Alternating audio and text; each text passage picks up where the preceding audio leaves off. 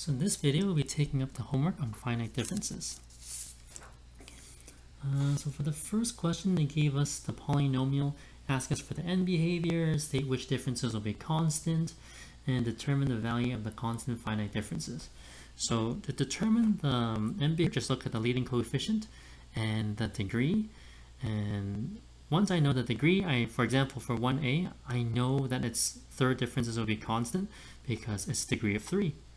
And I also have the formula where the nth difference is equal to leading coefficient times n factorial, where n is the degree of the polynomial, to help me solve for the nth differences.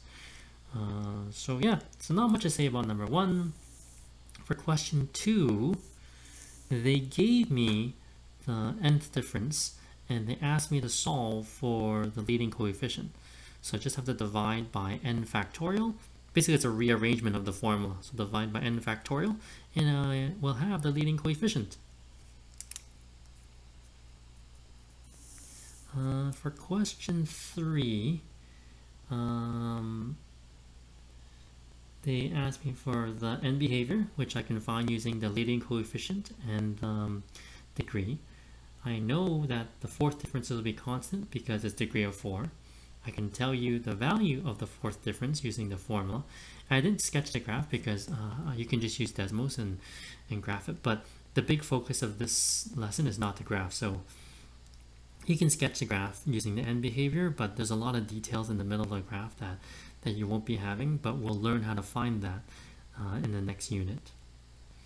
Uh, question four, I filled in the table and then I was able to tell you the degree based on which differences are constant and I also solved for the leading coefficient using the formula.